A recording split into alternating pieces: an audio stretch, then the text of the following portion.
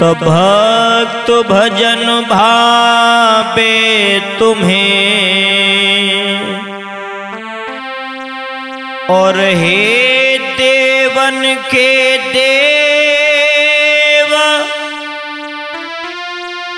लाज रखो संकट हरो। कैलाशपति महादेव। गुरुर्ब्रह्मा गुरुर्विष्णु गुरुर्देव महेश्वरा। गुरुर साक्षात परब्रह्म तस्मै श्री पप्पू गुरुवे नमः। आइए। देखते हैं अंशका कैसेट के सौजन्य से। महाराज त्रसंकु के पुत्र हरिश्चंद्र के जीवन के बारे में। गौर करते हैं आगे।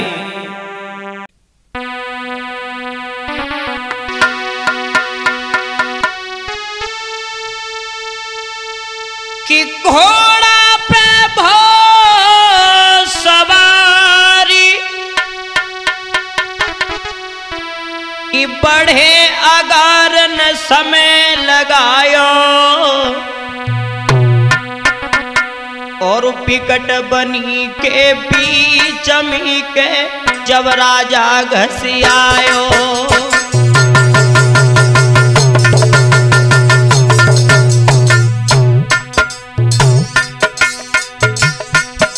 दोस्तों हरिश्चंद महाराज घोड़ा पर सवार होने के बाद में जिस समय जंगल के लिए प्रस्थान किया है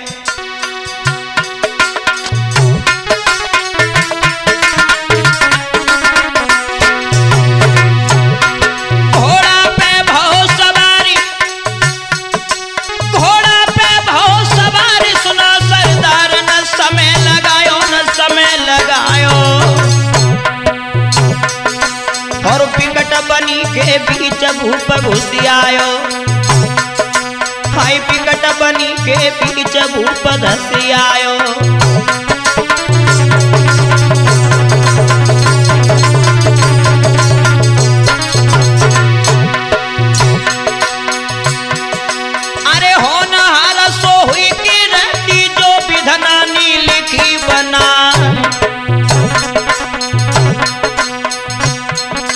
और नाई देर भूपने कीनी और मार गलई सीधा लगा। और नाई देर भूपने कीनी।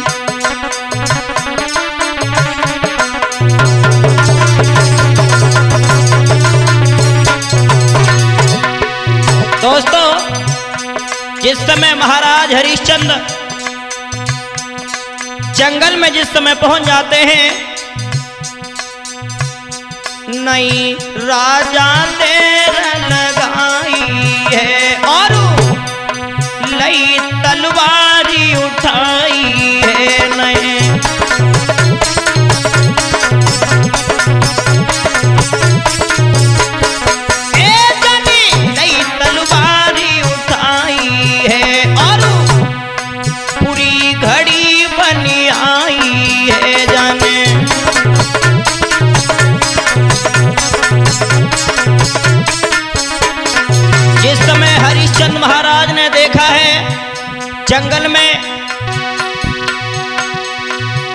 ब्रह्मजीत भैया।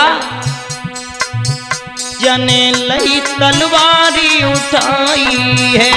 एक पर गए संतल खाई है जने।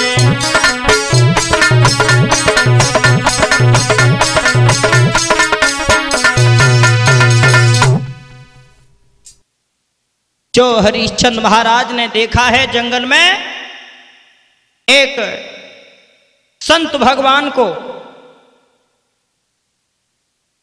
बाबा जी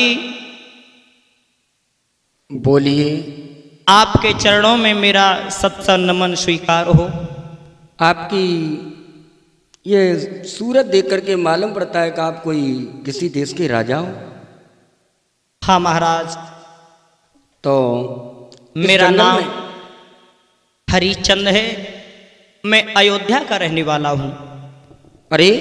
लेकिन मैं आपसे पूछ रहा हूँ श्रीमन आप इस जंगल में अकेले क्या कर रहे हैं? प्रभु के नाम का स्मरण कर रहे हैं वन में घूमना तो हम संतों का कारण है लेकिन आप एक बात बताओ। बोली महाराज। इस जंगल में और इस घोड़ा को लेकर के आप कहाँ जा रहे हो? महाराज हाँ। मैं बिहार के लिए आया था। मेरे सौभाग्य हैं जो आप जैसे संत भगवानों के दर्शन हुए। लेकिन महाराज एक बात मैं तुमसे तुमसे ज़रूर बोलेंगे। हाँ बोलो। अरे संत शिरोमणि द्वार द्वार पे और कभी किसी के न जाते। महाराज बोलो। और होती है सुबह घड़ी संत के दर्शन तबई हो पाते।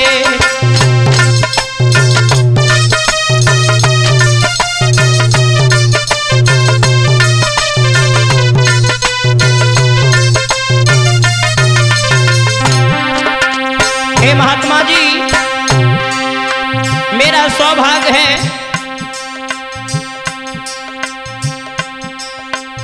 द्वार द्वार नहीं जाते, भगवन द्वार द्वार नहीं जाते। और होती है सुबह घड़ी संत के दर्शन तबई हो पाते।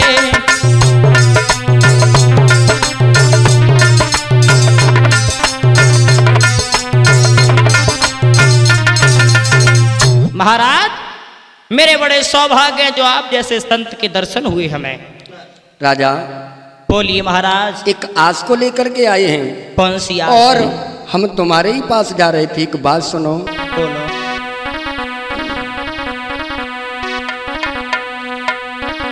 कि मेरे घर में कन्या कुआरी और हाथ पीले करवाए दे राजा।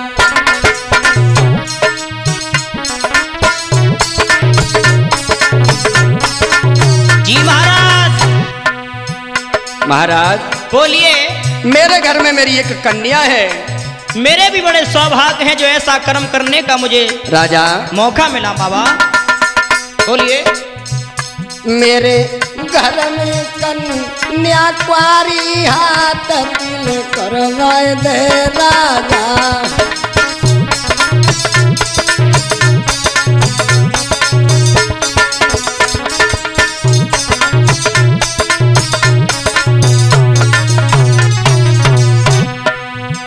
राजन।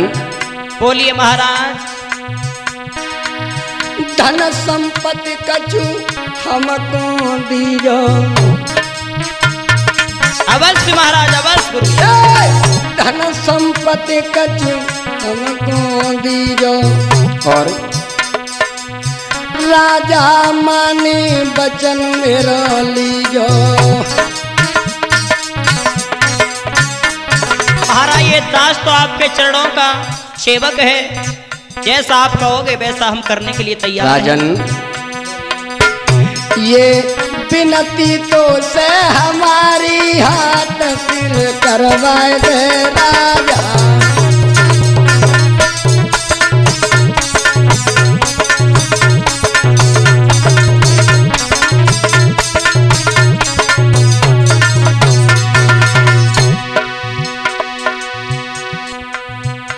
मेरे घर में कन्या प्यारी हाथ पीले करवाए दे राजा।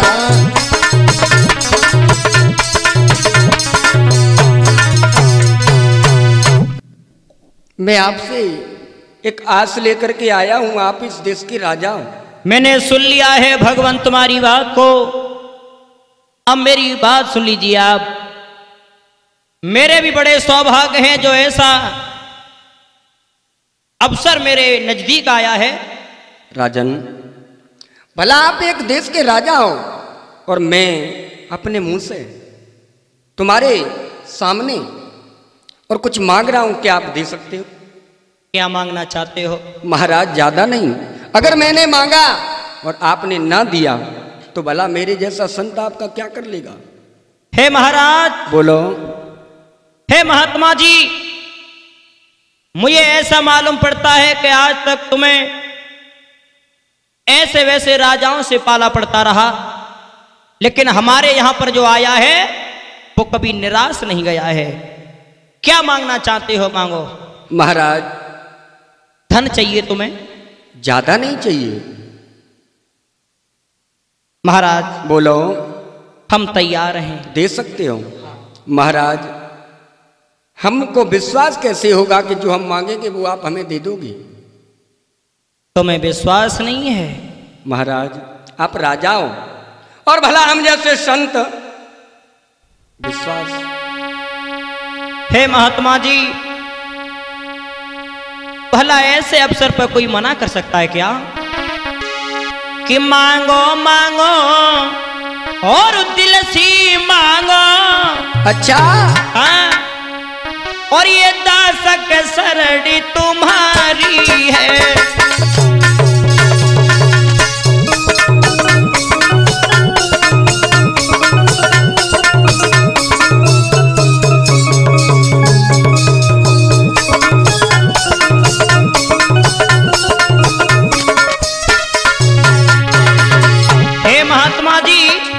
राजन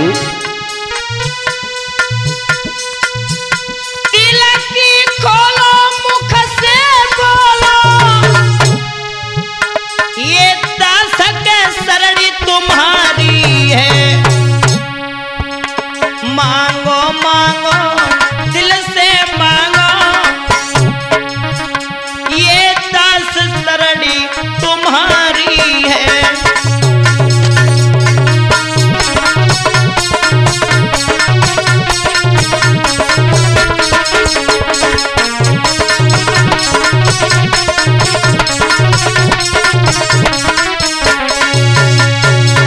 सुनिए महाराज, इस वक्त तो यहाँ पर जंगल में मेरे पास कुछ नहीं है, केवल एक कुंजी लगाम है, इसके अलावा और कुछ नहीं है यहाँ पर। और मेरे साथ में आप चलो, जितना धन तुम्हें चाहिए,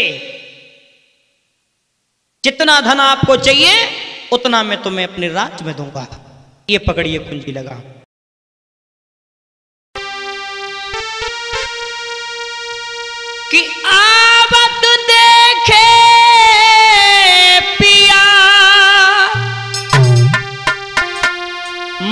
मगन भोहिया खुशी भैवारी। और गई तबल कौन गई भैया प्राणन ते आए प्यारी।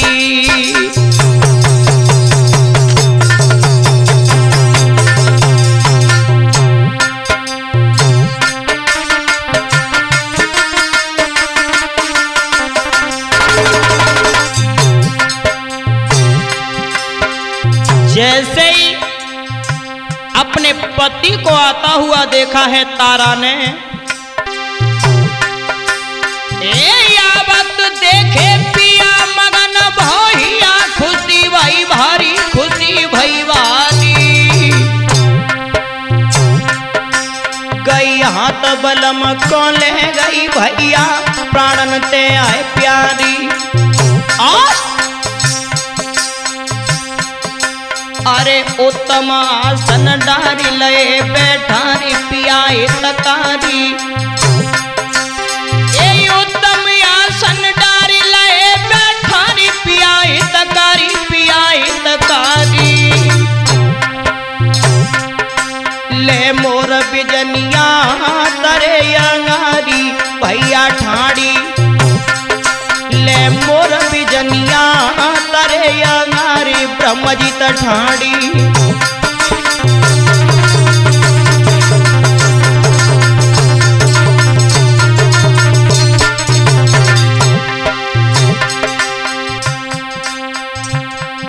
कैसे मनाई ना ए दैया? कैसे मनाई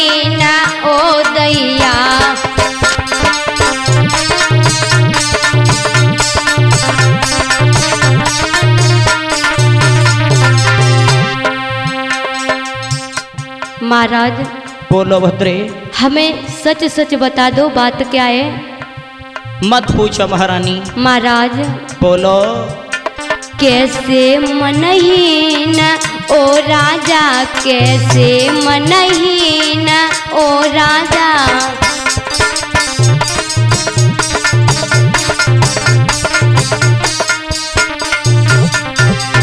सुंदर बदन फूल सो चेहरा।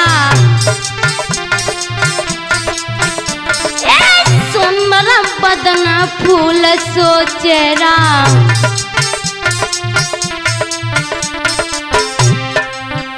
महाराज आपके सुमुख पर उदासी ये मुझसे सहा नहीं जाता है।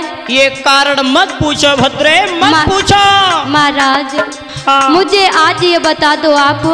मैं आपके हाथ जोड़ती हूँ लेकिन आपकी उदासी मुझसे सहन नहीं होती है। महाराज मेरे पैरों को छोड़ो भद्रे, ऐसे कोई बात नहीं है। सुंदर भदन फूल सो चेहरा कैसे हुई गौ मलिन? ओ दूल्हा, कैसे हुई गौ मलिन? ओ राजा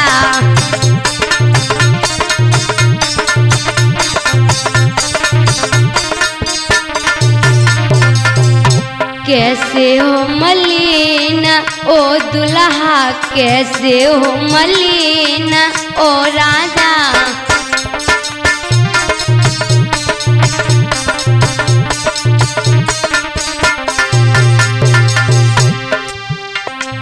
गोड़ी त्यारी सनी मखमल की जीन ओ दूल्हा कैसे मनहीन ओ राजा।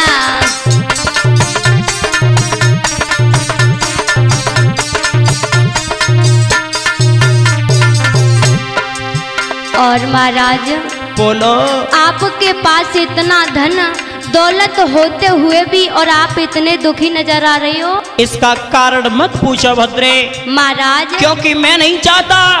जिस तरीका से मैं दुख में हूँ, उसी तरीका से तुम भी बैठ जाओगी। चार दिशन में राजियो,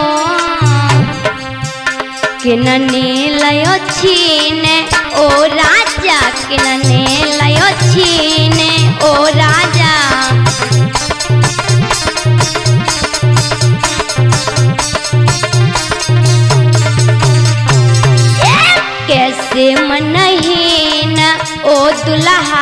कैसे मनहीन ओ राजा?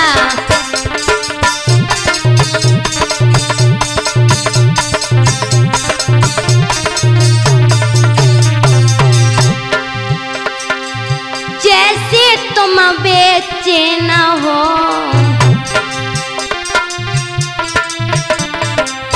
जैसे तुम बेचैन हो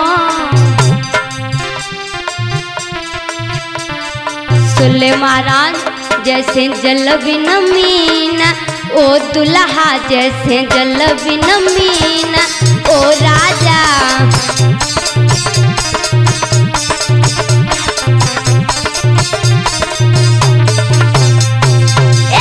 कैसे मनैन ओ राजा, कैसे मनैन ओ दुल्हा।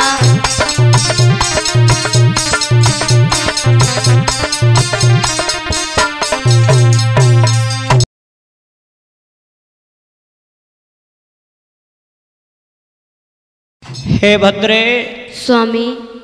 ये बात तुम्हें मैं नहीं बताना चाहता हूँ लेकिन तुम ये आरती की थाली लेकर के क्या कर रही हो? मेरी बात सुनो और समझो। काउर के थालती ओ प्यारी मेरी आरती मती उतारो।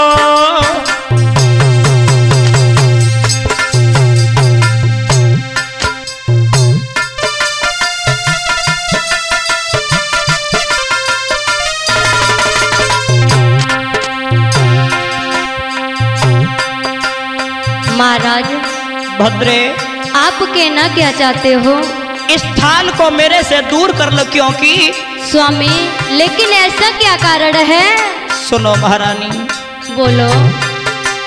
कावारा के थाल दियो प्यारी मेरी आरती मती उतारो।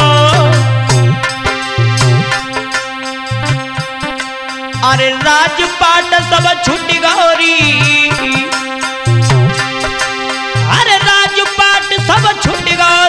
अधिकार हटो हमारो।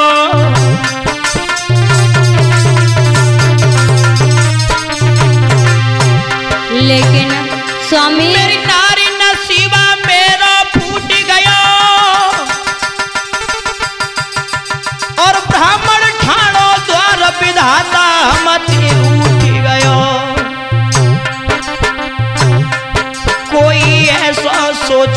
जतन बाबा को ऋण चुक जावे। कोई ऐसो सोचो, यतन बाबा को ऋण हट जावे।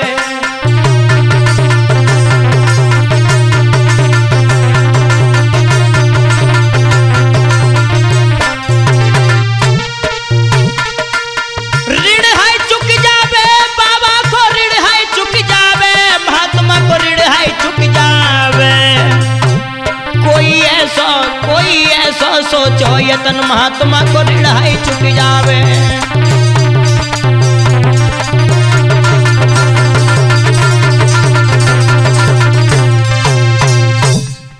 स्वामी लेकिन ऐसी क्या बात है जो आप ऐसे शब्द और मुझसे बोल रहे हैं महाराज? आप सच सच बता दो। हे भद्रे हाँ महाराज। एक महात्मा जी दरवाजे पे आए हैं। और इन्होंने धोखे से राजपाट सब कुछ ले लिया। हमारे पास कुछ भी नहीं रहा है।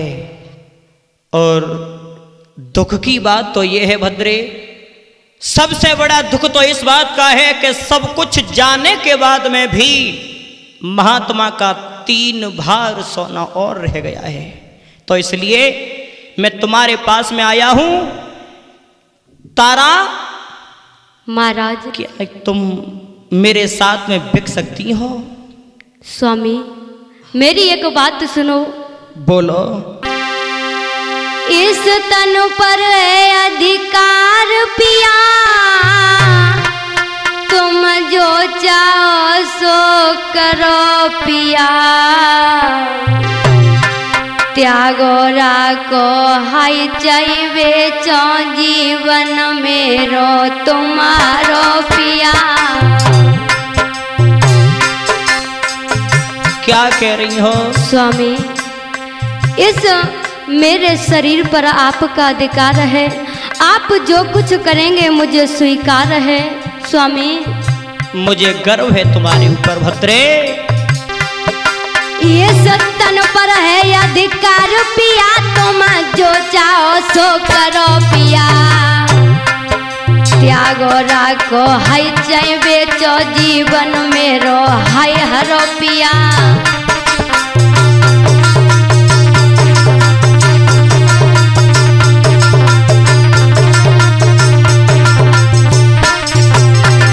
हे भद्रे स्वामी हमें नाज है तुम्हारे ऊपर।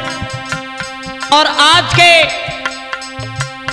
सभी पुरुषों से मेरा कहना है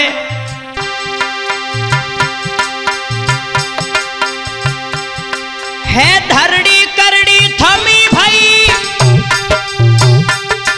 तुम जैसी अबलाओं बलवानों की यदि इज़्ज़त है तुम जैसी महिलाओं से।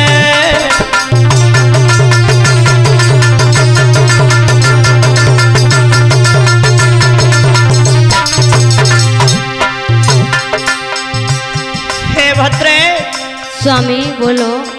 क्या करूँ मैं? क्या करूँ?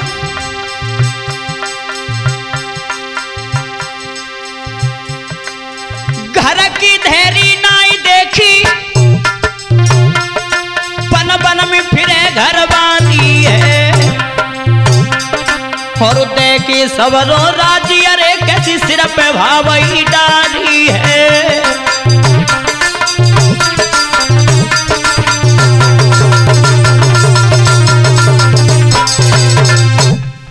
हे भद्रे स्वामी। तुम चलो। और आज के बाद हमारा यहाँ पर कुछ नहीं है। मेरा पुत्र रोहित कहा है। बेटा रोहित कहिए पिताजी। कहाँ से आए हो तुम? पिताजी। हाँ बेटा। आप मुझे एक बात बताओ। क्या मेरे लाल? पिताजी। हाँ। आपके चेहरे पर ये उदासी और मेरी माँ के चेहरे पर भी उदासी है। पिताजी। बोलो बेटा। मैं आपसे यही जानना चाहता हूँ कि इस उदासी का कारण क्या है। बेटा। कहिए। एक महात्मा जी हमारे दरवाजे पे आए हुए हैं और इन्होंने मेरे लाल ये धन धाम ये संपत्ति सब कुछ हमारे हाथों से ले ली है। हमारे पास कुछ नहीं है और सब कुछ देने के बाद में भी मेरे लाल तीन बार सोना ऋण और रह गया है महात्मा का। पिताजी। हाँ बेटा। इसमें चिंता करने की कौन सी बात है? मुझे और आप बेच सकते हो और उन महात्मा जी का जो भी ऋण है उससे अदा कर दो। धन है मेरे लाल धन्य है तुम्हारे लिए। धन है मेरे पुत्र। हे महात्मा जी। ओरे राजा। हाँ। बहुत हो गया तेरा रेनो- रोना धोना। एक बात कहूँ, मेरे पास इतना समय नहीं है।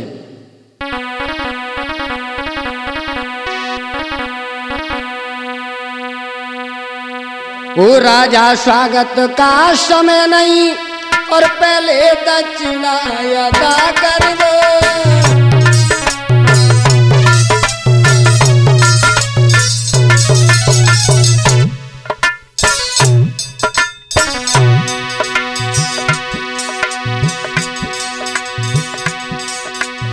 राजन स्वागत का समय नहीं।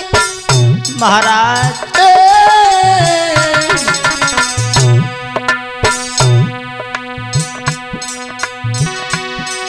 राजा स्वागत का समय नहीं।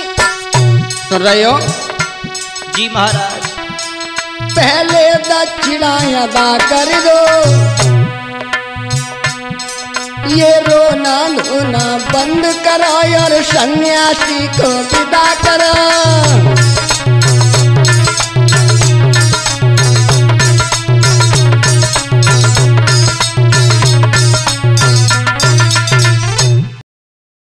हे महात्मा जी,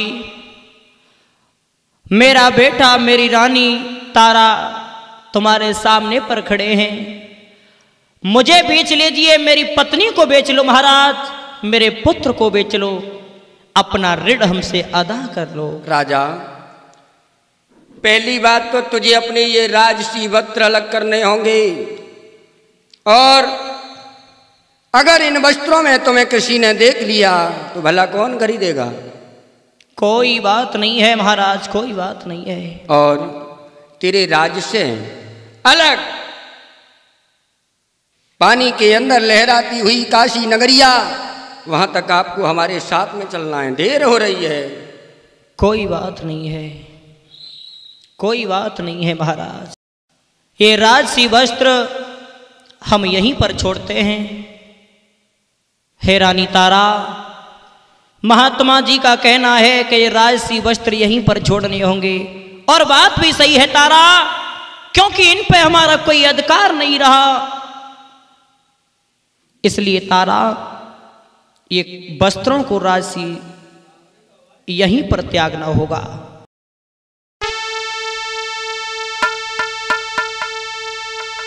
ध्यान रखना श्रोता बंधो, आज जिस समय तीनों प्राणी चले हैं, कि रानी को सब सिंगार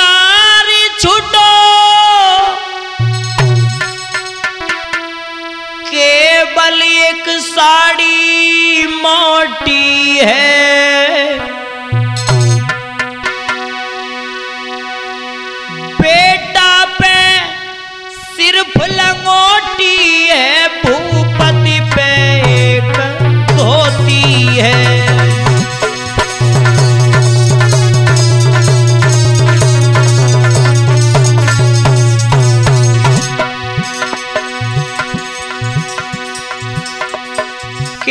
दशा हो गई? क्या दशा हो गई आज तीनों की?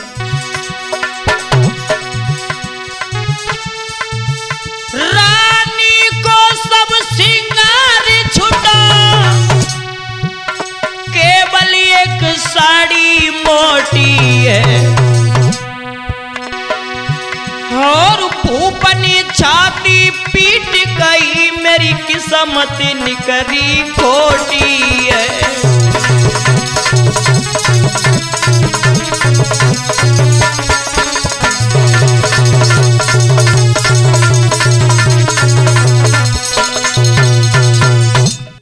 हे रानी तारा, इन आभूषणों को यहीं पे त्याग करके चलो आगे। हे महात्मा जी, हमारे साथ में चलो आप। आज जिस समय निकल करके चले हैं काशी से। हे रानी तारा स्वामी। चलते चलते इस अपनी जन्मभूमि को प्रणाम तो कर लो। क्योंकि आज के बाद यहाँ पर हमारा कभी आना नहीं होगा क्योंकि हमारा कुछ नहीं रहा यहाँ पर। कोई संबंध नहीं है कोई नाता नहीं है। इसलिए तारा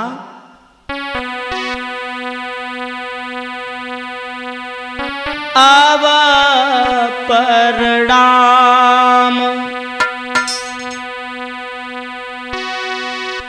आवा परिणाम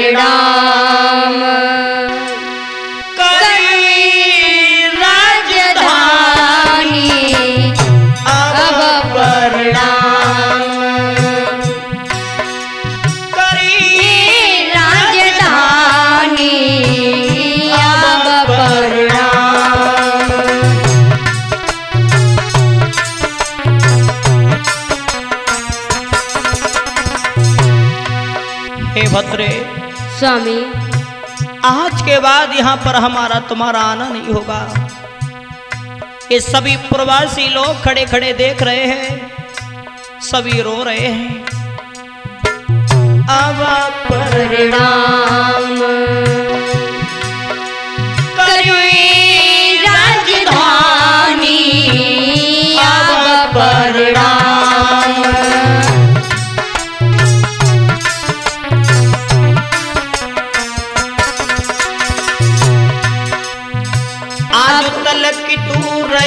हमारी। अब हो गई आज तलक हो अति हमारी। अब हो गई वीरानी। आज तलक तू रही हमारी।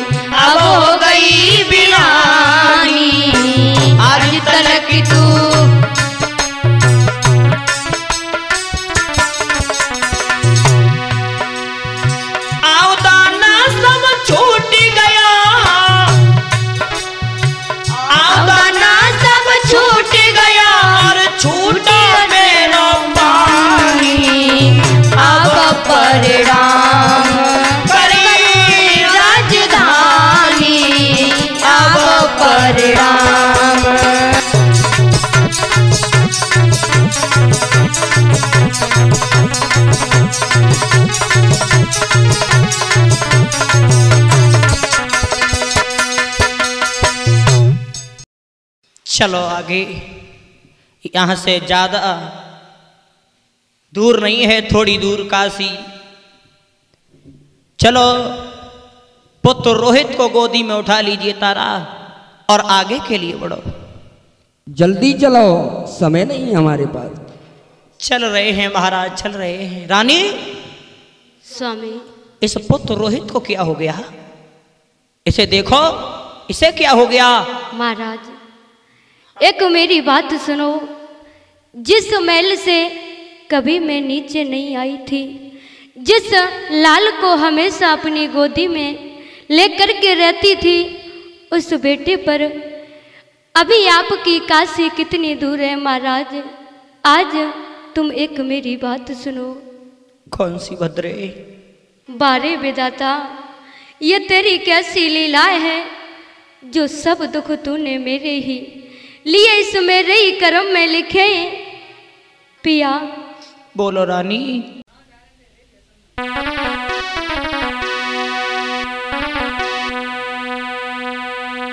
तारा रोहित को देखने के बाद में महाराज से बोली है, हे महाराज, अरे पति मेरे रहम करो भारी। हे महाराज, और सुत के प्राण रहे हैं छूटी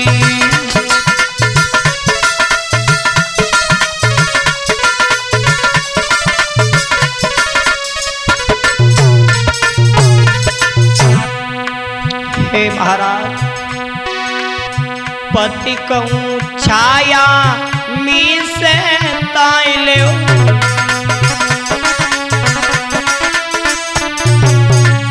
पानी पी की प्यास बुझाई ले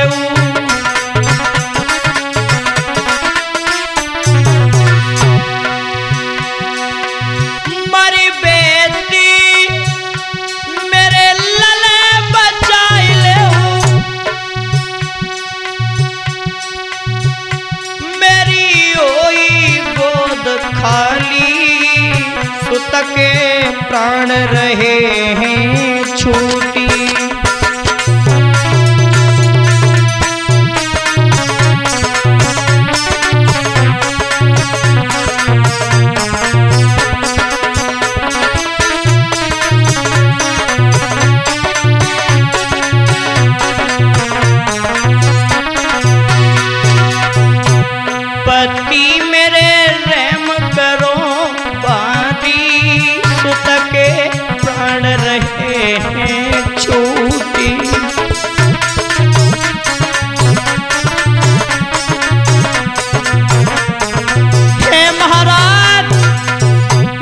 बेटा की ओर देखो। मेरा बेटा प्यास के मारे मर रहा है। इसे पानी पिलवा दो।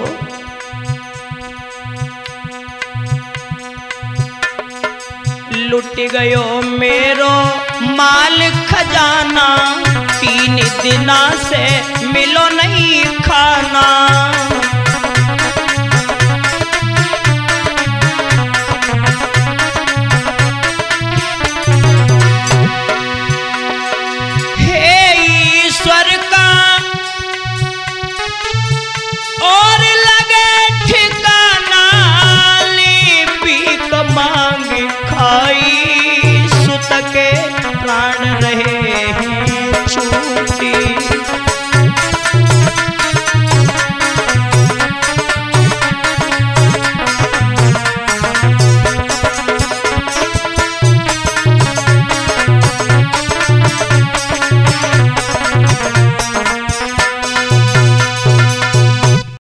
रानी तुम पानी की बात कर रही हो। हाँ महाराज। कि मेरी बनी बनाई बात हर बिगाड़े मत रानी।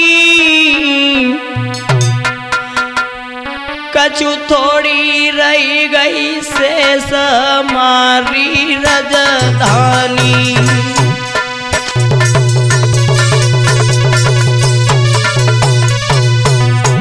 तारा हमारा माँ होने के नाते दुख तुम्हें है पिता होने के नाते दुख मुझे भी है लेकिन तारा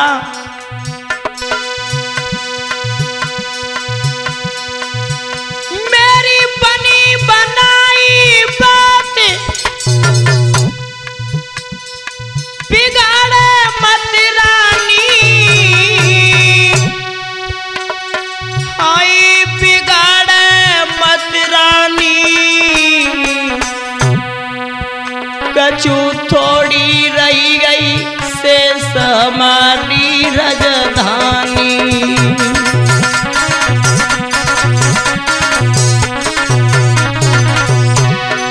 तारा, हरे जो हम खाई राज में खाना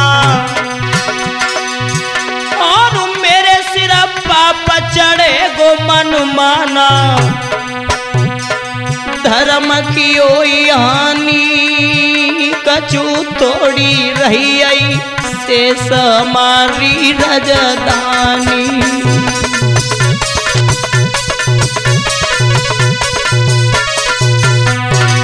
इसलिए तारा स्वामी। बच्चे के ऊपर थोड़ी हवा करो इसे होश आ जाएगा।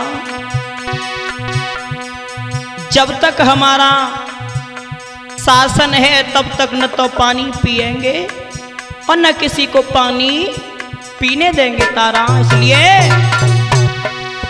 तासिले बेटा को गोद, आगे की सीध लगाए ले री। तसले चोना को गोद, आगे की सीध लगाए ले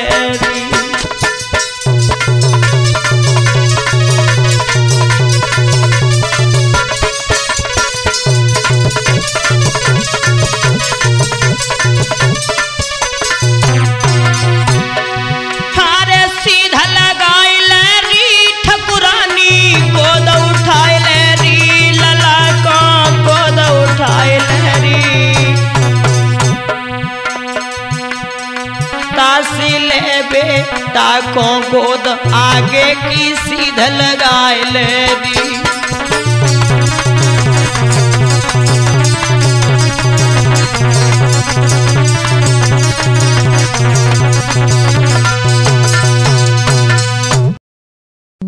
थोड़ी देर के बाद, जिस समय रोहित को होश आया तो विश्वामित्र कहने लगे, बोलिए महाराज। ले ये कमंडल। और इसमें से पानी अपने पुत्र को पिला दे तू पहले अपने पत्नी को पिला दे। महाराज हाँ। मुझे तो पानी नहीं पीना है लेकिन अगर पीना चाहते हैं तो मेरी रानी और मेरे बेटा रोहितास को पूछ लीजिए। राजा हाँ। तेरा यह नन्ना सा बालक रोहित इसे अगर पानी नहीं दिया तो ये काशी बहुत दूर है। कैसे पहुंचोगे तुम तीनों? बेटा बोलिए लो पानी पी लो। महात्मा जी हाँ। आप जो पानी पीने की कह रहे हो पीना तो बहुत बड़ी बात है। अरे। हम पानी को देख भी नहीं सकते हैं। ये बालक कहिए अगर तूने ये पानी नहीं पिया तो व्यर्थ में तेरी मौत हो जाएगी। भला तेरे पिता का कर्जा कैसे पूर्ण होगा? महात्मा जी बोलो। चाहे हमारी मौत हो जाए लेकिन हम पानी नहीं पी सकते हैं। लेकिन सुनो। बोलो।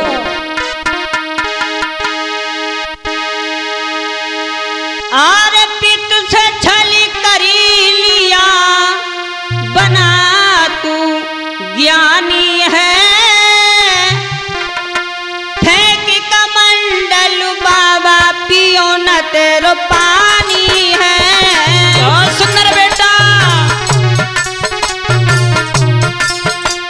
हे बालक बिना पानी के तेरी मौत हो जाएगी मौत बोलो। पानी पीना तो बहुत बड़ी बात है। हम पानी को देख भी नहीं सकते हैं। ए पित से छल कर लिया बना तू ज्ञानी है।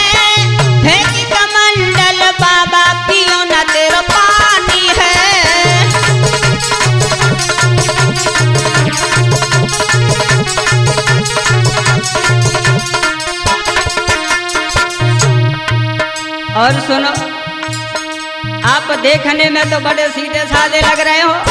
बालक हाँ। जितना छोटा है उतनी बड़ी बड़ी बालक बातें कर रहा है। बड़ी बातें नहीं कर रहा हूँ मैं सच कह रहा हूँ।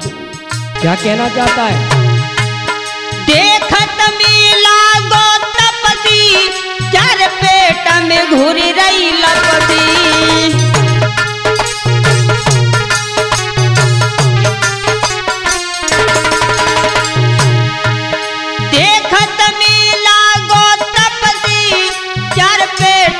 घुरी रही लपति बने तुम ज्ञानी हो।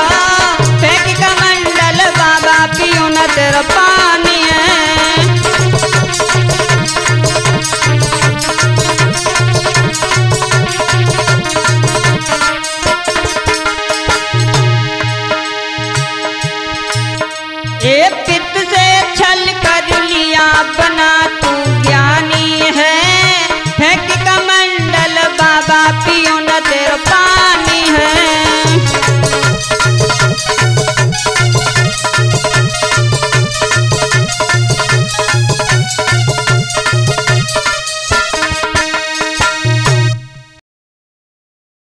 सुंदर मेरे लाल बहुत सुंदर। हे महात्मा जी तुम्हारा पानी हमें नहीं पीना है अपना पानी अपने पास रखो। पानी नहीं पीना है तो ये रोना धोना बंद करो। चलो तीनों हमारे साथ क्योंकि मेरे पास अभी समय नहीं है। कोई बात नहीं है महाराज कोई बात नहीं है चलो। हे रानी बेटा को गोदी में उठाओ और यहाँ से अब ज़्यादा दूर नहीं है। थोड़ी दूर काशी और है। यहाँ से चलो। हे स्वामी बोलो रानी। आपकी ये काशी कितनी दूर है? अब जा- हमसे चला नहीं जाता ज़्यादा नहीं है थोड़ी दूर है। थोड़ी दूर और है काशी यहाँ लेकिन अब मुझसे चला नहीं जाता है स्वामी। ऐसा मत कहो रानी ऐसा मत कहो। धीरे धीरे जिस समय आगे बढ़ते चले गए भगवत श्रोताओं, काशी की गलियों में विश्वामित्र जी आवाज़ लगाने लगे हैं।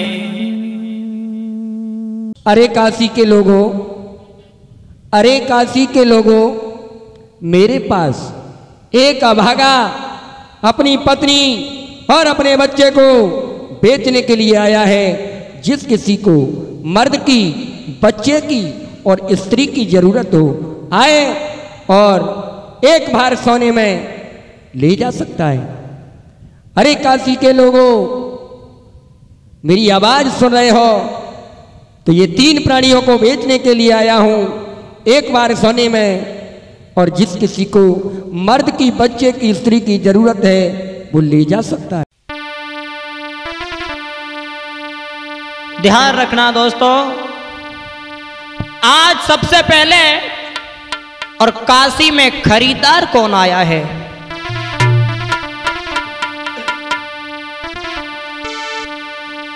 आरे धर्म की और झुकी रही है झंडी।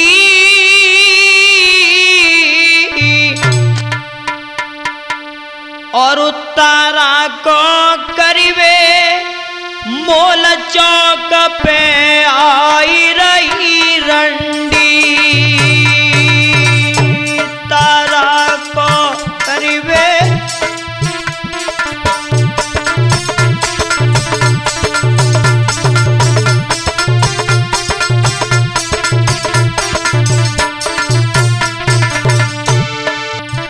आज तारा को खरीदने के लिए एक वैश्या चली है। श्रोता बंधो। अरे के मुख में पान चबाई रही। तारा को सुंदर गाथा देख की मन रसाई रही। तारा को सुंदर गाथ देख की दिल रसाई रही।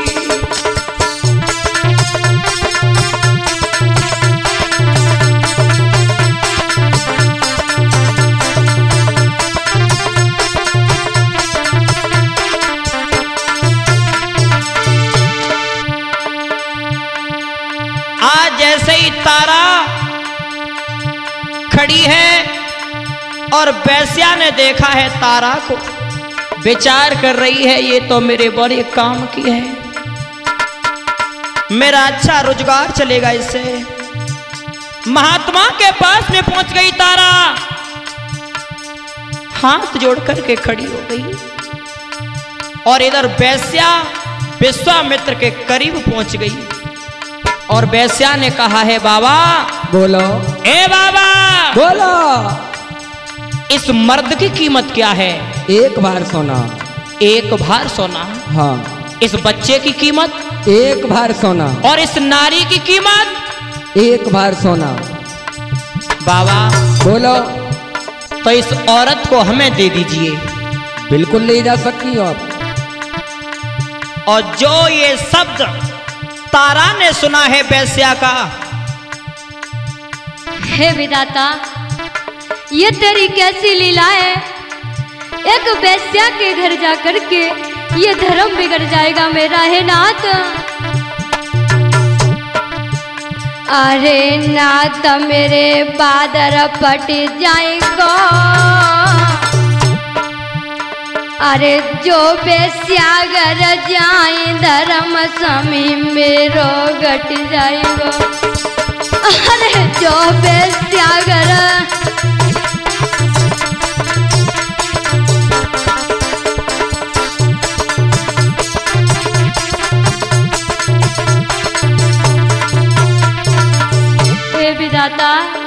मेरे साथ ये क्या हो रहा है? ये मेरे साथ क्या हो रहा है? अब ये मैं नहीं देख सकती हूँ।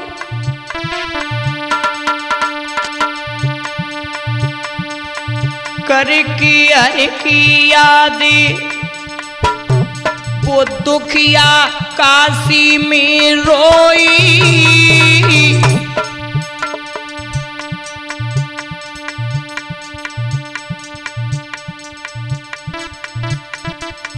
कर की हर की याद बा दुखिया, काशी में रोई। कर की हर की याद ब दुखिया, काशी में रोई। मेरी लीजो लाज बचाई तो बिना मेरो नहीं खोई।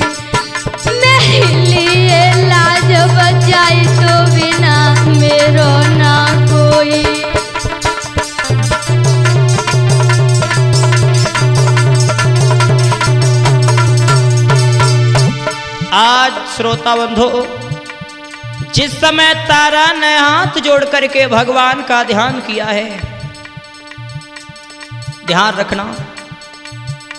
भक्त भगवान का नाम लेने में देरी करता है अगर सच्चे दिल से उसका नाम लिया जाए तो परमात्मा मदद करने में देरी नहीं करता। अरे भाग्यबा पैसा के फूटे। अरे भाग्यबा ठगनी के फूटे। और विधिगति अपरंपर के बंदर माया के टूटे। विधिगति अपरंपर के बंदर माया के टूटे।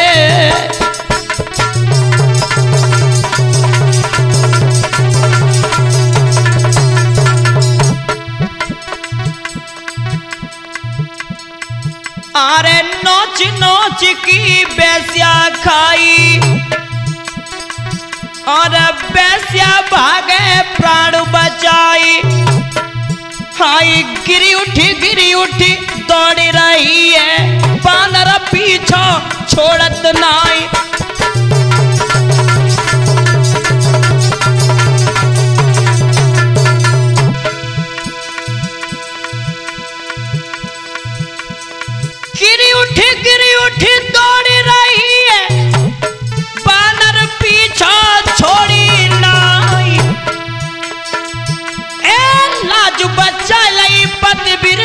की त्यारी जय हो बे करतारी।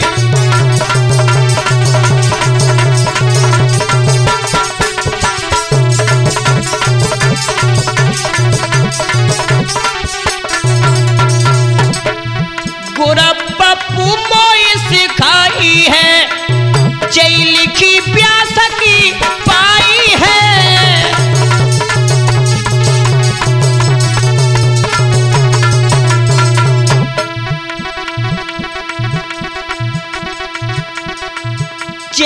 लिखी प्यास की पाई है और रानी खुशी मनाई है।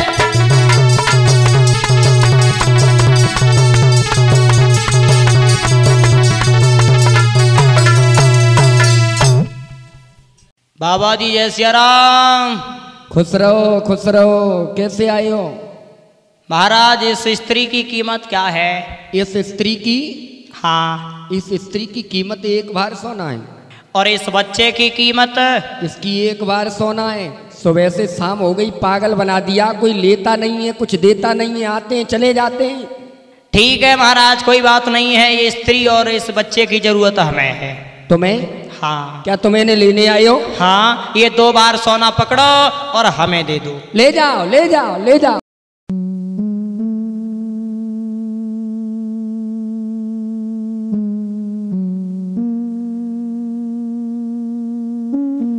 जी जय सिया राम हाँ बोलिए बेटे। इस हट्टे कट्टे की कीमत क्या है? इस जवान की? हाँ? एक बार सोना।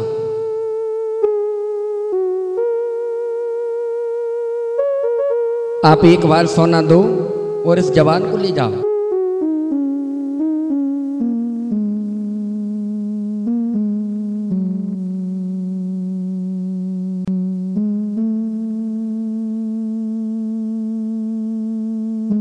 हरिचंद महाराज को कालू मेहतर ने खरीद लिया। तारा और रोहित को एक ब्राह्मण ने खरीद लिया। धीरे धीरे समय व्यतीता हुआ गया है तो एक दिन हरिचंद महाराज से कहा है, कालू मेहतर ने, ए हरिया, मैंने तेरे खरीदने का एक बार सोना दिया है और मेरा काम यह है कि आज के बाद इस काशी की गलियाँ हैं इनमें झाड़ू लगाना पड़ेगा। और ये ले लाठी और ये काला कम्बर और चल करके अपना विश्राम कर और कल से काली काशी की गलियों में झाड़ू लगाना। ठीक है महाराज। और सुनो हरिया हमारे घर में तुम्हें पानी भर के लाना है। जी मालिक। ये लो घड़ा। और घड़ा लेकर के पहले जल भर के नदी से लाओ। जी मालिक मैं जा रहा हूँ। जाइए। जा रहा हूँ मुझे घड़ा दे दीजिए। मैं पानी भरने के लिए जा रहा हूँ।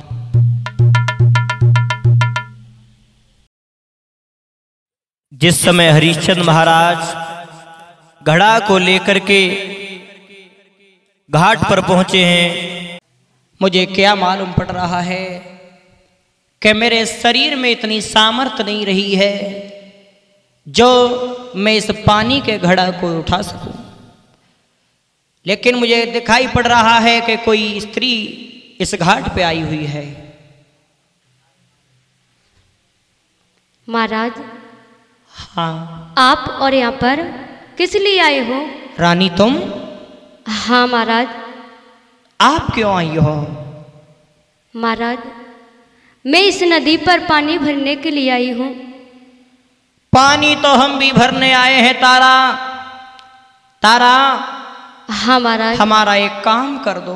बोलो। कि रानी उठवाई दे और गगरिया मेरी जल से भरी तारा उठवाई दे।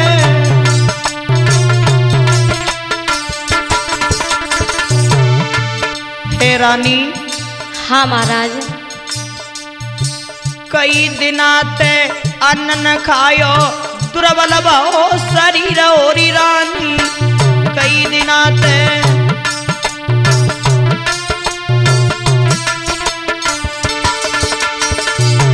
हम पे चलो न जाई डगरिया ओ रानी।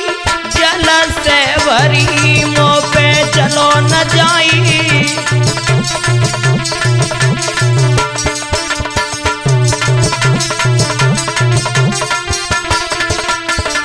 और रानी तारा। हाँ महाराज। कालू में तर कोनो करऊं लाखों देगो गारी ओ रानी कालू अंगी।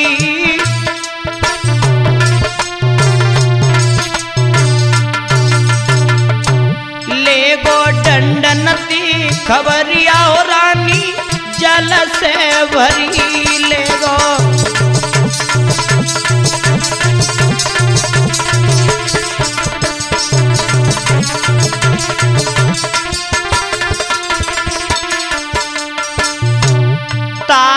उठवाई दे गगरिया मेरी जल से भरी तारा उठवाई दे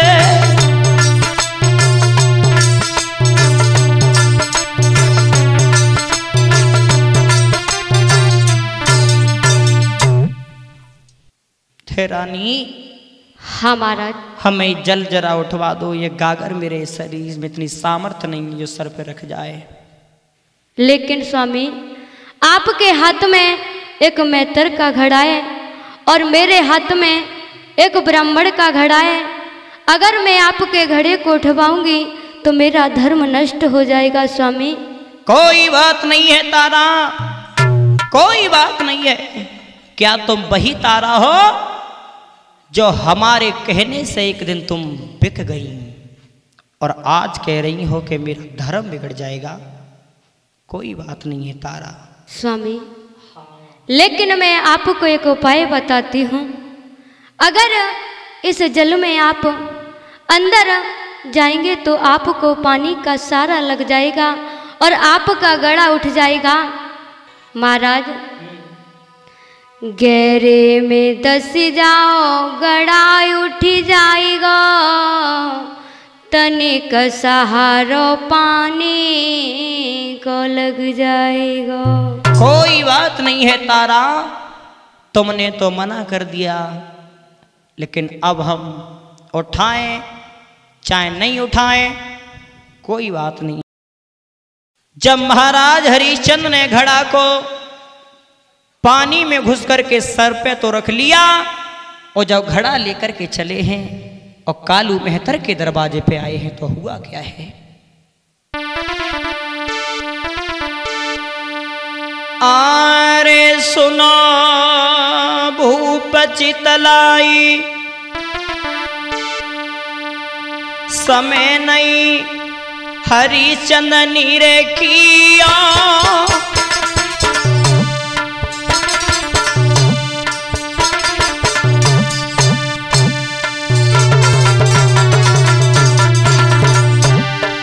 अरे समय नहीं हरिचंदनी कियो। जनी सर पे धरी लो घड़ा गबन, जनी घर को कर दियो। भैया सिर पे धरी लो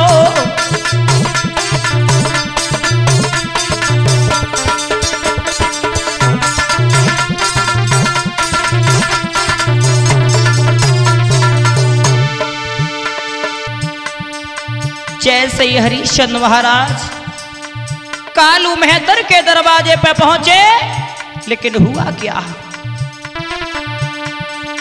अरे के किस्मती राजा की फूट गई। अरे के किस्मती भूप की फूट गई। जके पैर में ठोकर लगी गगरिया, सर से छूट गई। भैया पैर में ठोकर लगी।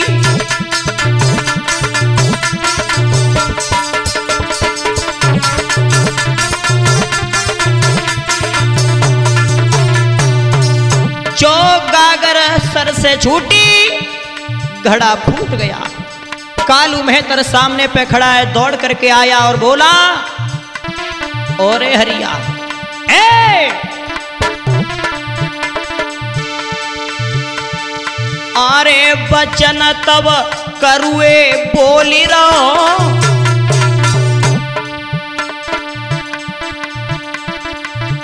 तो पे पानी भरो नहीं जाई के भोजन, इतने खाई रहो तो पे पानी भरो नहीं जाई के भोजन, इतने खाई गयो।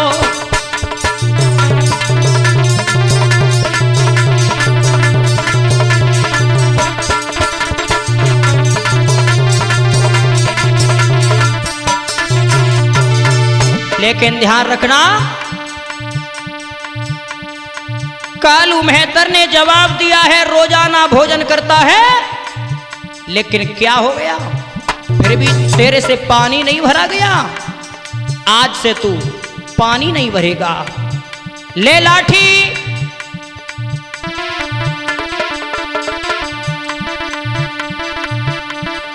अरे के भैया, कालू समझावे। और लाठी ले ले हाथ के मरघट।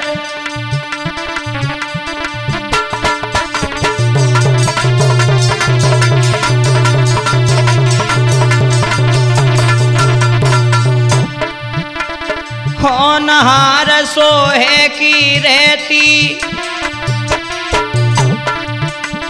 नई हरी चननी देर लगाई।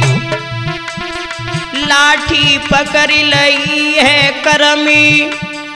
मरघट की लई सीध लगाई।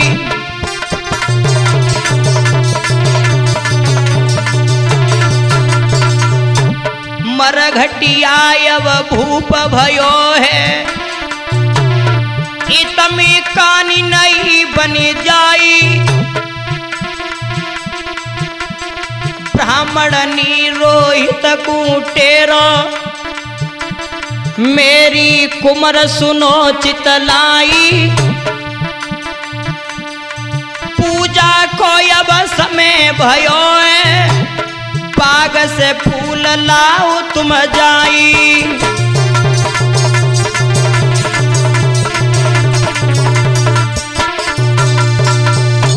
इधर तो महाराज हरिश्चंद्र मरघटिया बन गए। सत्ताईस दिन महाराज हरिश्चंद्र ने पानी भरा और सत्ताईस दिन तक भोजन नहीं किया। बेटा रोहितास। कहिए माँ। अभी आपको इसी समय ब्राह्मण देव की पूजा का समय हो चुका है। ये छबरी ले जाओ और जाकर के फूल लेकर के आओ। ठीक है माँ मैं फूल लेने के लिए जाता हूँ। लाला मेरी बात को सुनो। अरे पूजा को होती अबेर बेटा फूल तोड़ के लइयो।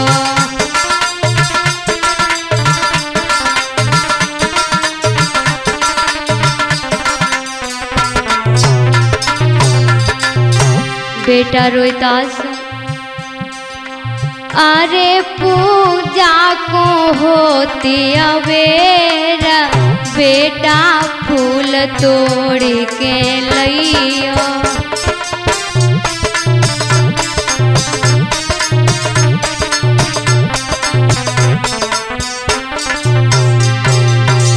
बेटा, मेरी बात सुनो। बाग बीच में बेटा जइयो।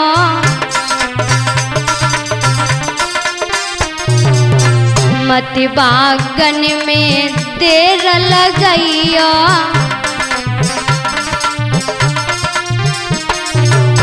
हे मेरे लाल, बागन बीच में बेटा जइयो।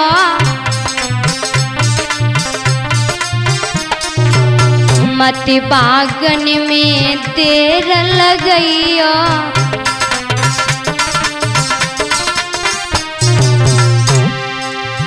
तो को समझाई रही तेरी मात। बेटा फूल तोड़ के लइयो।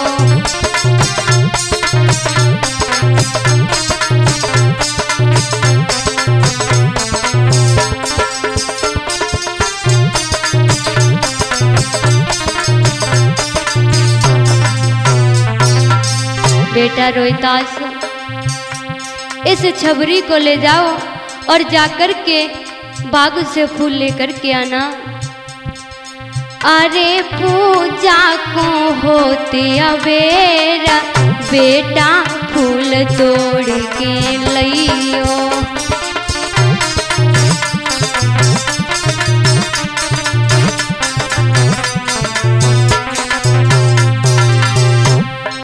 बेटा रोहितास, आप जंगल में जाओ। और जाकर के फूल लेकर के आओ। आप इस छबरी को लेकर के और बाग में जाकर के फूल लेकर के आओ। पूजा का समय हो चुका है। ठीक है माँ। मैं बाग में फूल लेने के लिए जाता हूँ। और माँ हर पुत्र का कर्तव्य होता है अपने माँ बाप की आज्ञा का पालन करना। धन्य धन्य मेरे लाल। अरे पूजा को होती अबेर बेटा फूल तोड़ के लइयो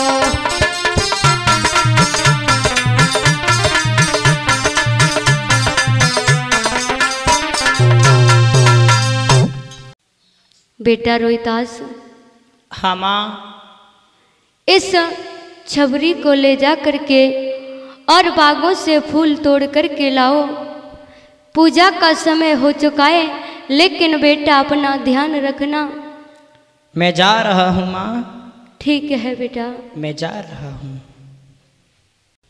जिस समय विश्वामित्र ने शरप बनकर के सरप का भेष रख करके आज फूल में बैठ गए और उस समय रोहित ने फूल तोड़ने के लिए हाथ बढ़ाया तो हुआ क्या है? अरे रोहित नी हाथ बढ़ायो।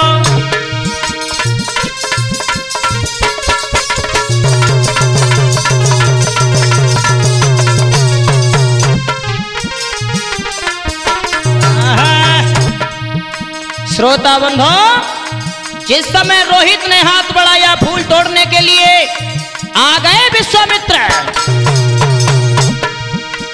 अरे रोहित ने बढ़ाया कपटिए नेक तरस नहीं आयो।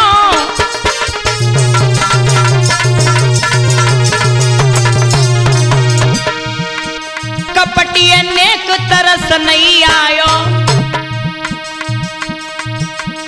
फन भैरायु गली में मार।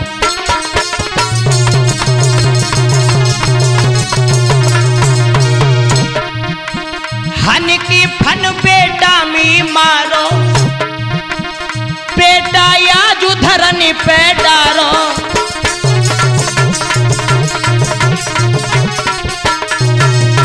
जिस समय सरप रोहित को काट लेता है, रोहित ज़मीन पे गिर गया और इधर विश्वामित्र काशी की गलियों में आवाज़ लगा रहे हैं। और क्या आवाज़ लगा रहे हैं? काशी के लोगों, बात सुनो, किसी माँ का लाल और फूल लेने के लिए बगीचे में गया था उस बालक को किसी सर्प ने काट लिया है।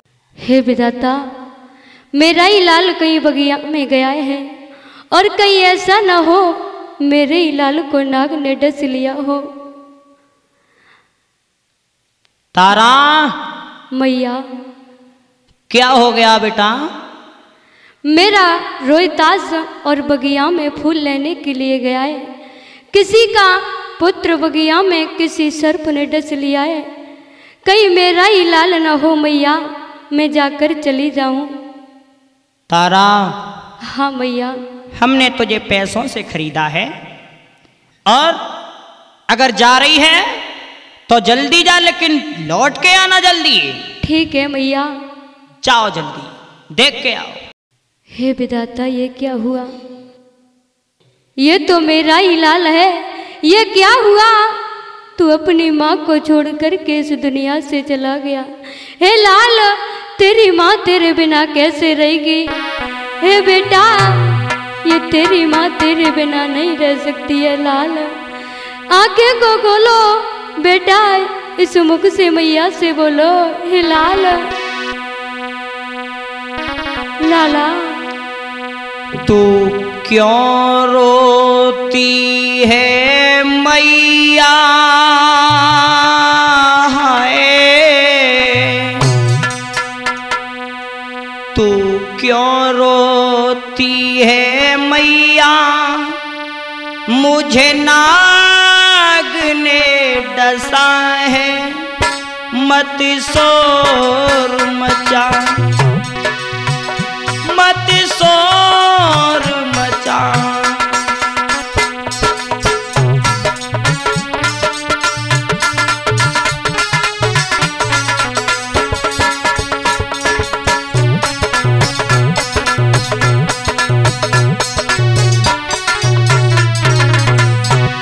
हे माँ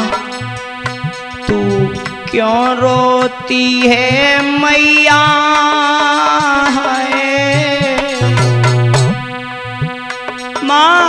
क्यों रोती है मैया?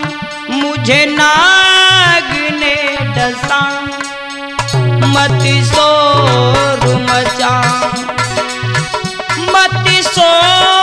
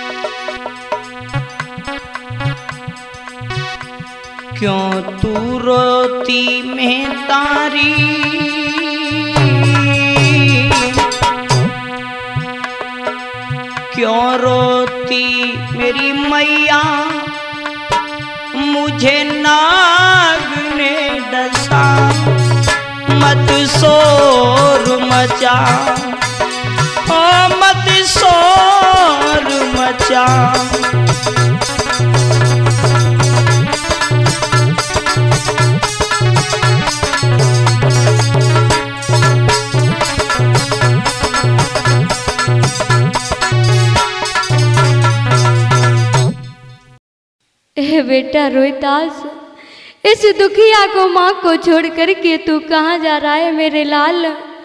ये दुखिया किससे मुँह दिखाएगी जा करके? ये दुनिया वाले कहेंगे, एक पुत्र को न पाल सकी। मैं एक पुत्र की देखभाल न कर सकी। इस संसार में इस मुख को कैसे दिखाऊँगी मेरे लाल? रोहितास हे बेटा, एक बार अपनी माँ को पुकार ले। बेटा।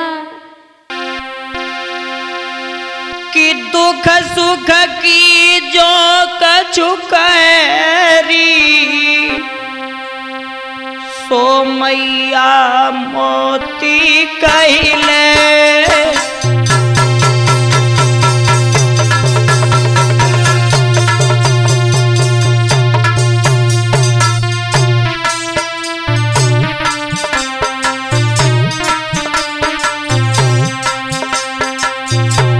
माँ। दुख सुख की जो कछु कैरी सो जननी मोती कहले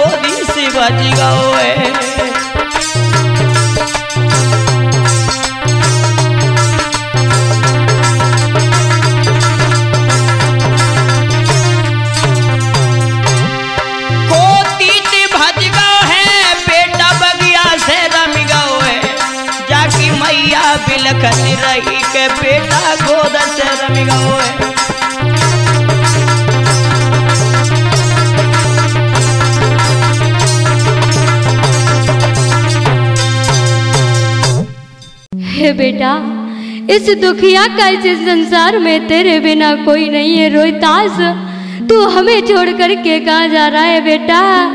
बेटा, इस माँ को छोड़ करके कहीं मत जाना। ये दुनिया वाले मुझसे क्या कहेंगे?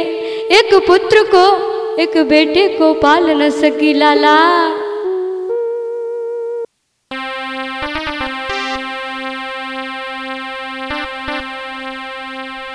लला मेरे बोल सुनाई दे। बेटा रोहितास, इस माँ को छोड़कर कहीं मत जा तू लाला। लला मेरे बोल सुनाई दे। कहाँ पे तो डसी गयो, खारो नाग। तेरे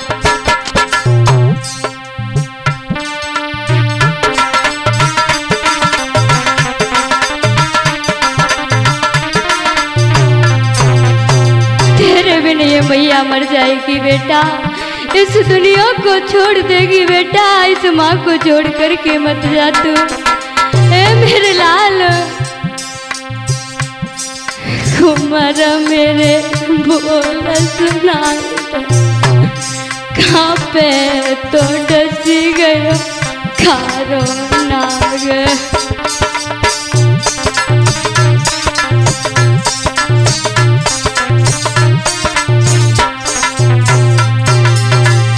बेटा, भाग में फूल लेना आयो।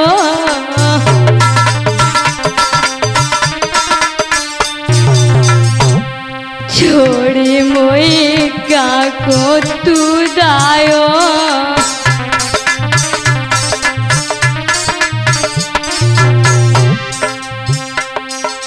अरे, हे बेटा अरे तीर मेरे दिल में बनाई जा। लाला। अरे तीर मेरे दिल में बनाई जा। कहाँ पे तो डसी गयो करिया नाग।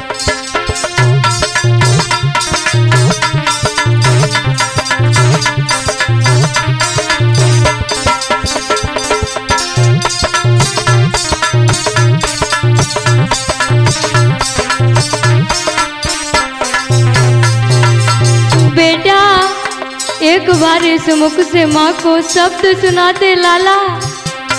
लाला।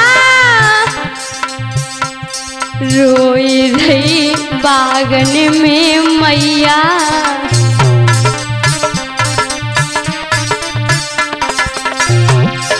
चलो हो गोदी को चैया।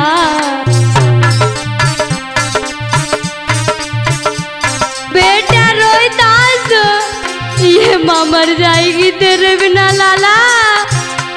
लाश पे तनाई पटक। कहाँ पे तो डसी गयो कारो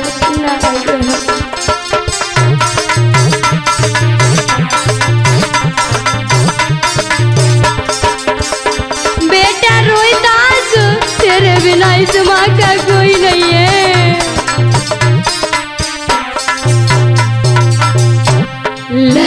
मेरे बोल सुनाए रे। लाला। लला मेरे बोल सुनाए दे कहाँ तो डस गयो कारो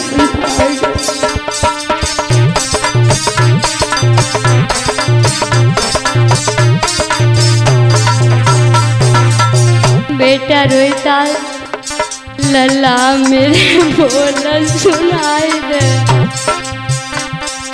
कुमार मेरे बोल सुनाई दे कहाँ पे तो डस गयो कारो नाग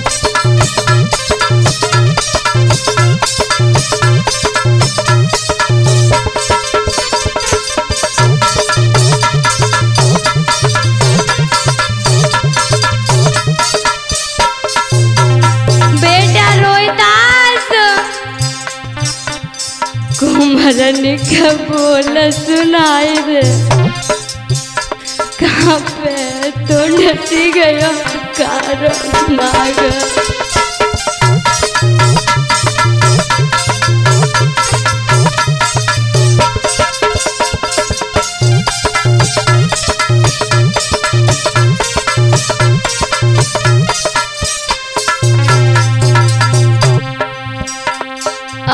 अभागिनी बन गई मैं तारी।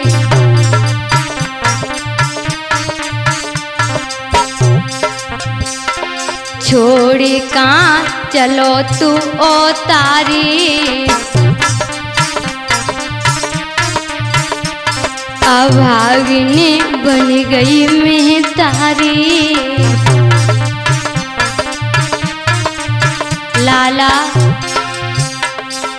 अरे तीरन का दिल में बनाई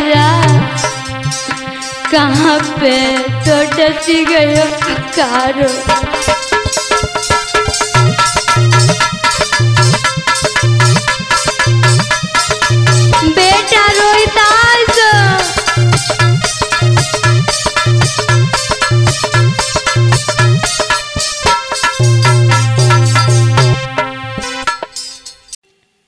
हे बहन तारा, इस अपने बच्चे की लाश को ले जाओ, इसका अंतिम संस्कार करो।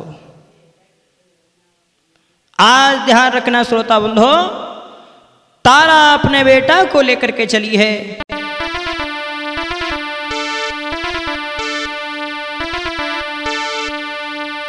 अरे तारा धरी हरि कुमर की लाश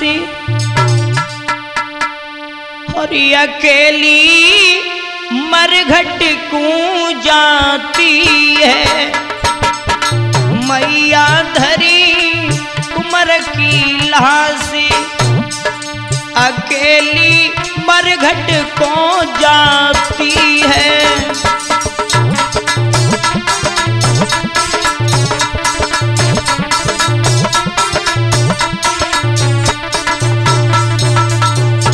आज तारा अपने बेटा को लेकर के चली है। बारह समय। एक दिन वो था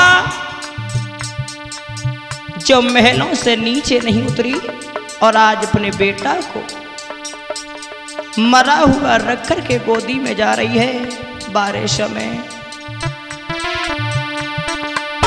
तारा धरी कुमर की लहसे अकेली मरघट पूजाती जाती है। मैया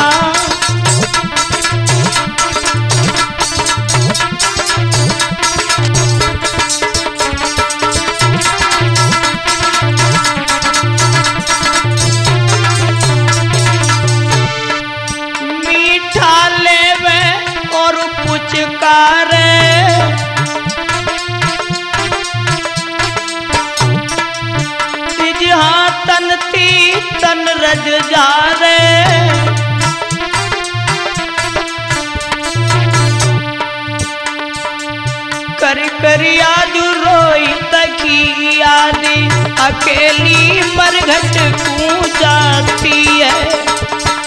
करी करी आई जिया पति की यादी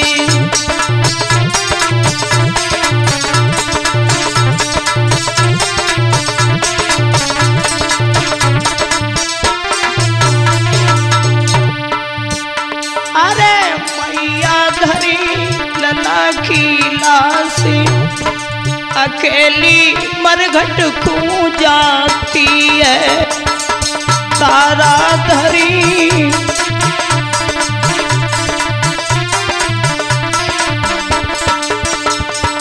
मेरे बेटा, कैसा समय बन गया? पति से बिछुड़न भो कन्हैया।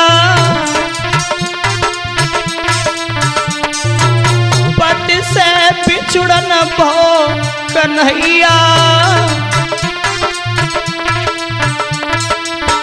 डूब गई अधवर में नैया अब मैं कहा करी कित जाई। अकेली मरघट को जाती है। करी कित जाई।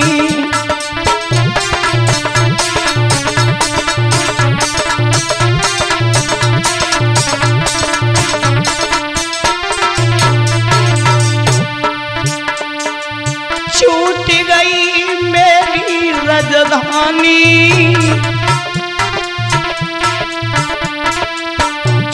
गई बेटा रजधानी।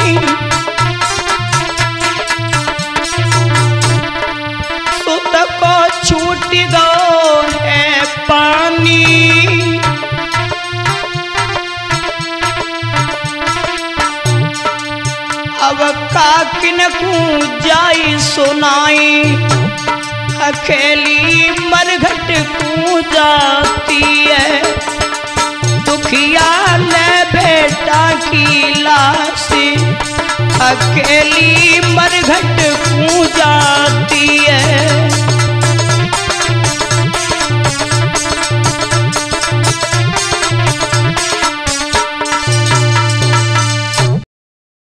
पहुँच गई है तारा शमशान घाट में जहाँ के पहरेदार हरिश्चंद्र महाराज थे। और जो हरिश्चंद्र महाराज ने देखा है तो तारा अपने बेटा की चिता को चिन रही है। लकड़ी बीन बीन करके चिता को चिन रही है, और तब तक हरिश्चंद्र महाराज की नज़र पड़ गई।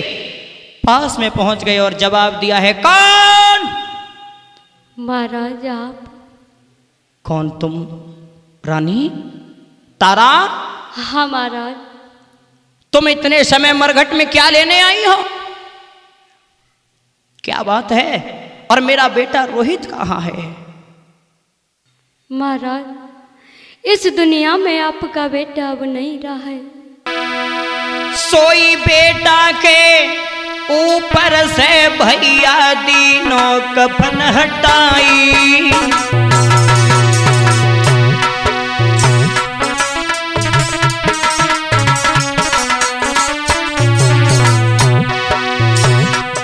इतनी बात तारा ने सुनी।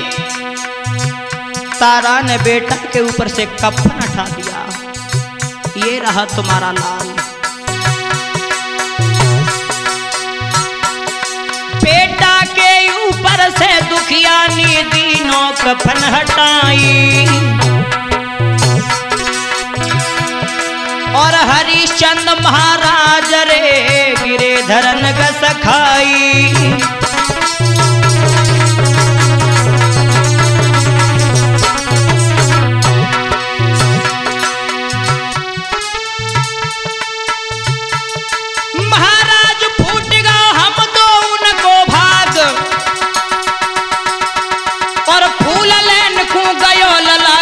डस गो बेरी नाग। सोई घर की पुरानी याद भूप के आँसू भर आए। भैया घर की पिछली याद भूप के आँसू भर आए।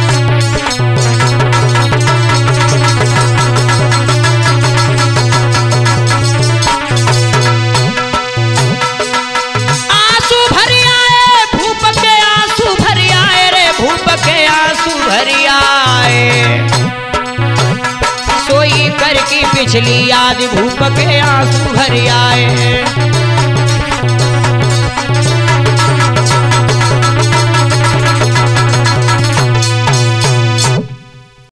कुछ देर बाद महाराज हरिश्चंद्र को होश आया। लाठी लेकर के खड़े हो तारा। हाँ महाराज। मेरे बेटा को नाग ने डस लिया है।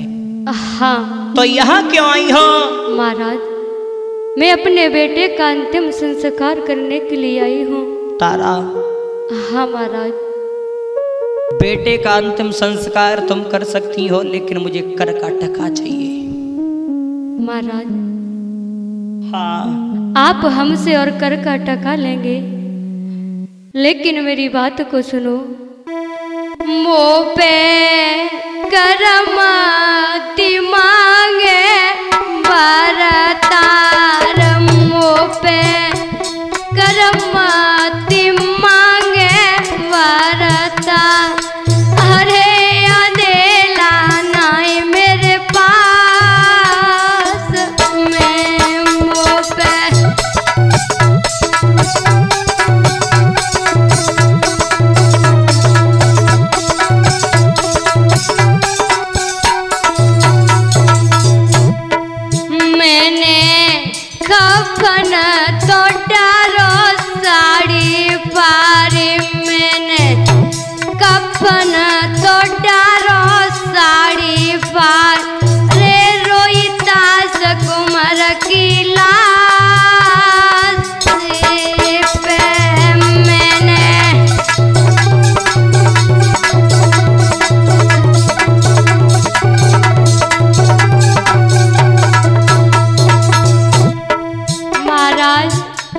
आप मुझसे कफन मांग रहे हैं?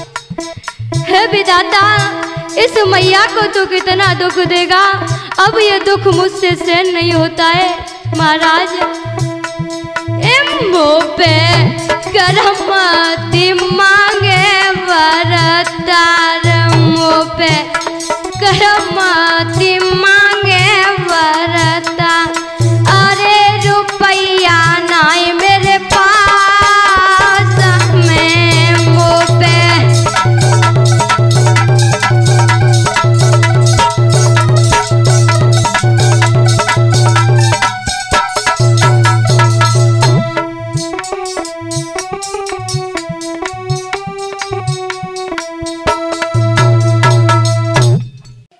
रानी, हमें कर का टका चाहिए क्योंकि आज अगर तुम कर नहीं दोगी तो मेरा धर्म बिगड़ रहा है।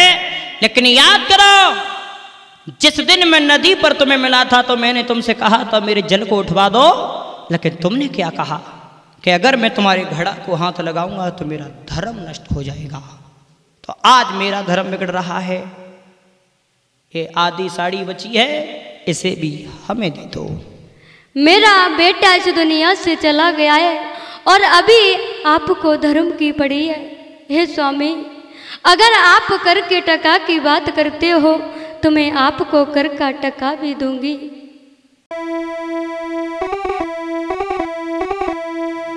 और रानी तारा के शरीर पे जो राती साड़ी लिपटी थी, हरिचंद महाराज ने वो साड़ी खींच ली। बेटा का अंतिम संस्कार किया है। उसी समय आज रानी तारा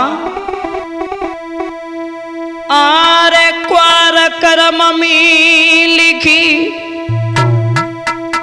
और सती के मठ में घुसी आई।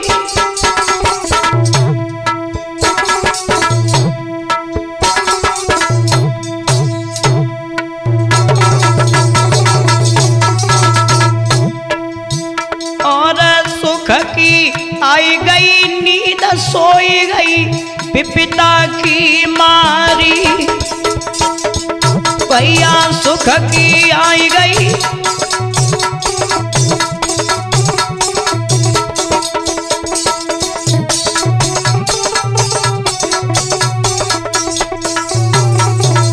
इधर तो तारा एक मैया देवी के मठ में पछाड़ खा करके गिर गई। और इधर विश्वामित्र ने क्या किया? अरे मुनि आई करी चोरी। तुई बालक ले चुराई उमरिया पाचन की थोरी। तुई बालक ले चुराई उमरी है पेटन की थोरी।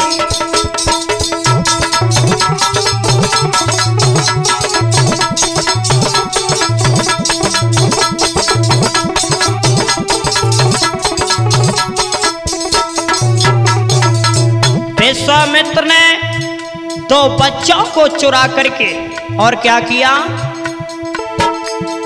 अरे काट दे चौराए रे डारी। अरे काट दे चौराए डारी। तक गैया सी, बिलखाई कुमर की, रोई रही मैं तारी। भैया गैया सी डकराई लला की, रोई रही मैं तारी।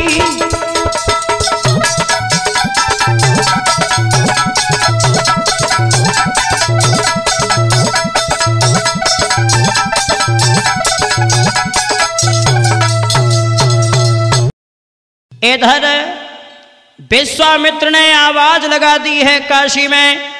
काशी के लोगों एक डाहिन आई है मंदिर में जो बच्चों को खा रही है।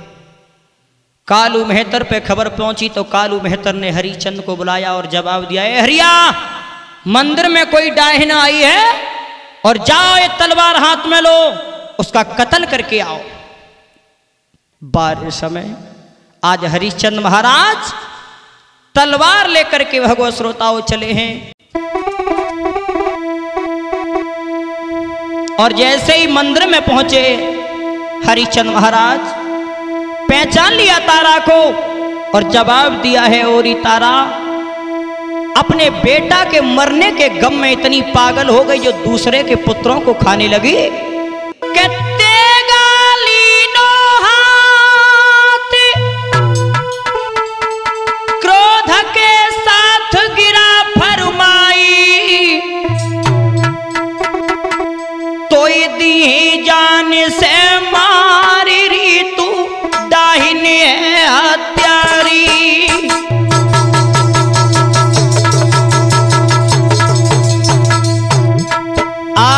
ज़िंदा नहीं छोड़ूँगा तुझे। तू डाहिन है जो दूसरे के बच्चों को खाने लगी।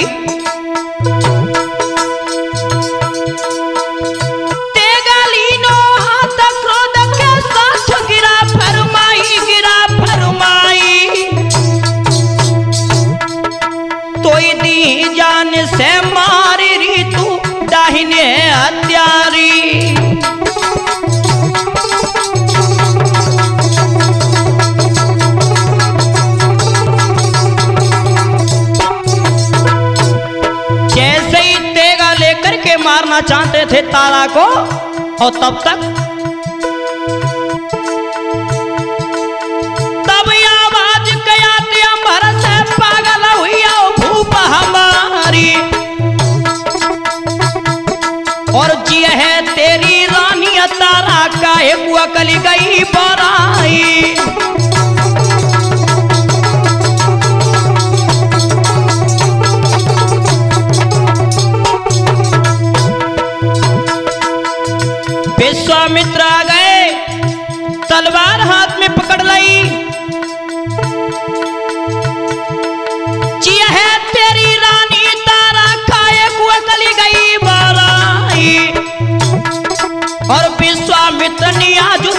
की तुरंत गई है हाथ तलवारी।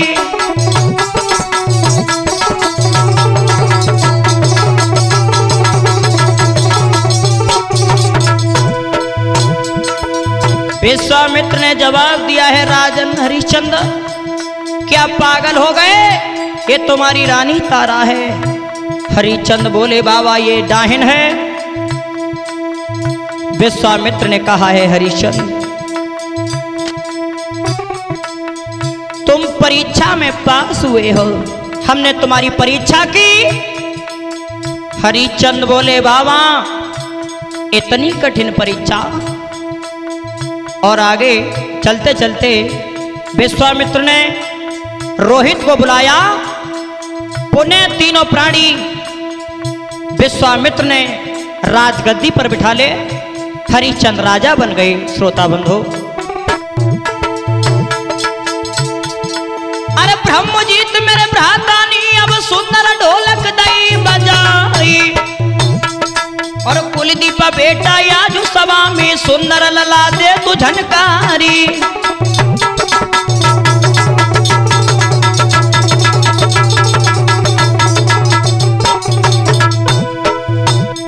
रोशनी शास्त्री, आज स्टूडियो में और मेरो संग के तो निभाई। और रवि शास्त्री आज सभा में सुंदर घड़ा देत खनकाई।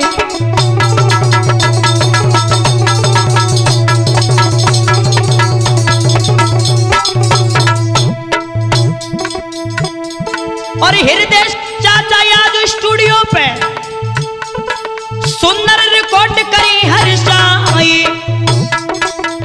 तुम किशोर है नाम हमारो गाथा तुमको दई दर्शाई?